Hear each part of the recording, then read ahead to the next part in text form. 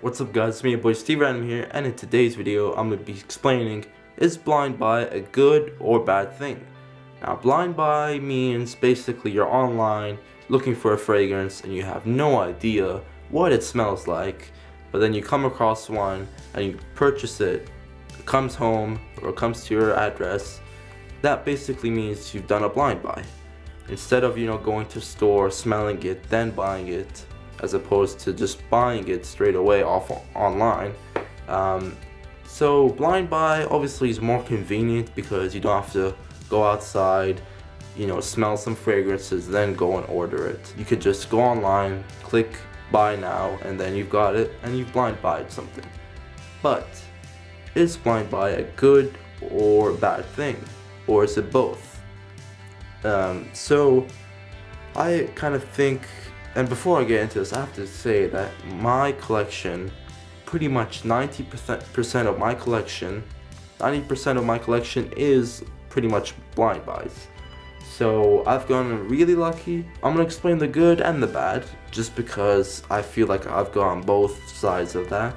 Um, so the good things about blind buy.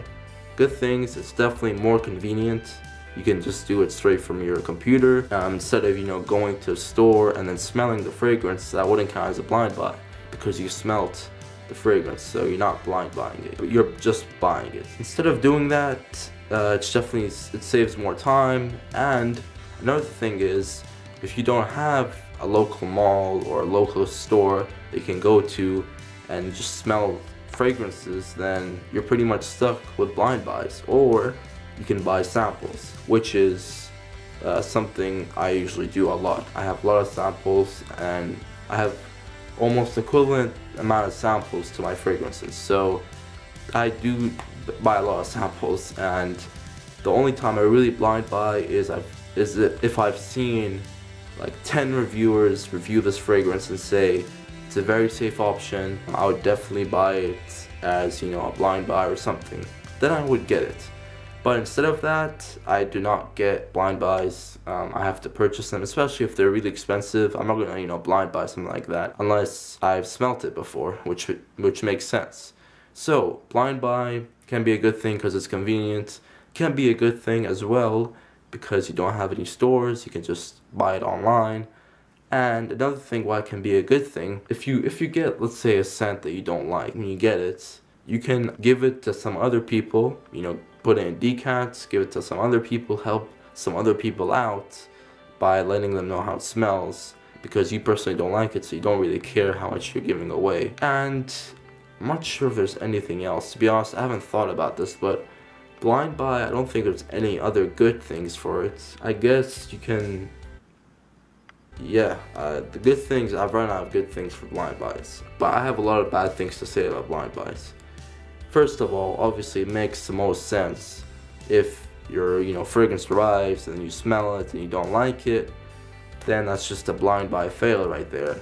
And that means your one fragrance that you're not gonna use is just gonna stay there rusting. Um, so blind buy can be a pretty bad option. And you know, second thing, it can also just waste your money because imagine you know just having like five fragrances you don't like. Those can be used but they're not you know because you don't like them. But another thing that can counter that is you can sell them obviously.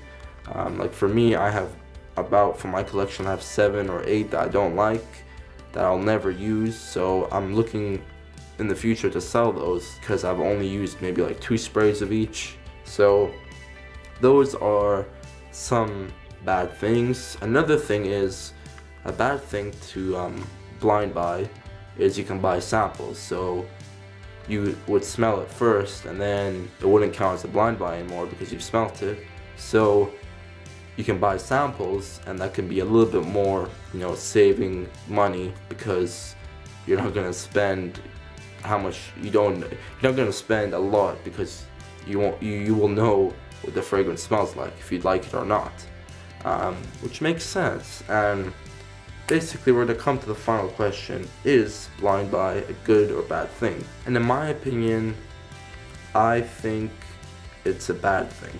Just saying. Um, I've I'm guilty myself of doing it like for 90% of my collection as I said, but I wouldn't really risk it honestly guys. Um, if you guys don't have, you know, the good things of a blind buy like the, the, the time, the convenience, the local malls, I would just say honestly like maybe buy a sample because that's the best way for my opinion is just buy a sample, you know, instead of blind buying a whole bottle I, I don't know um, because I've wasted about like 200 300 dollars on blind buys that I don't like.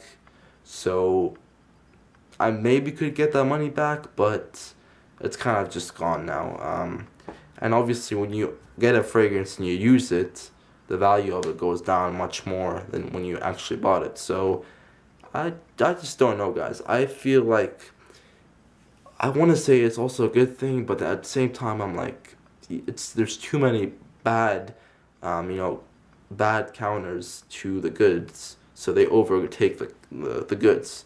So the bad, I, I think, wins. And guys, I think blind buy is a bad thing, but that's my just opinion. That's my opinion. It doesn't have to be yours, but if you can, you know, relate to something, let me know in the comments below. But if you guys have enjoyed this video, uh, comment down below, subscribe for more videos, and like this video, share with your friends. I mean, we are more than halfway to 2K, um, and that rhymes. And you guys have a good day. That was a great way to end it, but I wanted to say more stuff, but that was it, guys. Hope you guys enjoyed this, and let's leave it at that. Gotta say bye, and pet my cat. Peace.